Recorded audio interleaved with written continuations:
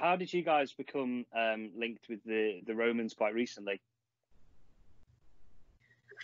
Um, so that was something that uh, G had reached out to us, and actually, I probably five years ago or so had come down to a, a girls' kind of rookie day, um, and and we've had ties with the Romans for quite some time, and then last year we ended up going um, to like university basically and doing a session with them. And obviously levi was there and he had mentioned to us at the time you know why don't you come down and we get roman started up?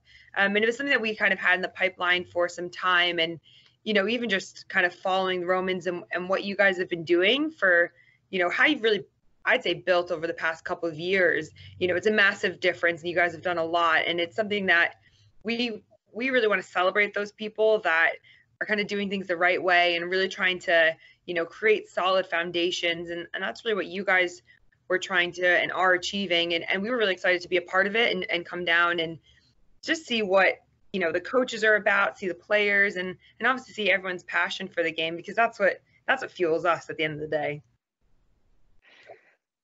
Amazing and, and i guess you, guys spent uh, two days with the romans back in uh, in march um, how did you how did you find the uh, the camp that, that was uh, over the two days in chester It was so it was really good. Um, I don't know. I, we didn't.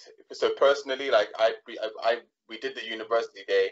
Um, I think Uniball sometimes has a uh, propensity to be more or better organized than senior ball does in some settings. So I wasn't sure what uh, you know we were kind of coming to find with the Romans, but I know we're completely blown away. Really impressed with how um, professional everything was. There was I, the thing that genuinely blew me away the most was the morning, the Sunday morning it was, where you had the youth and juniors uh, training and practicing at the same time, and that was amazing to see the organization and just the number of bodies that was around on the day was was huge.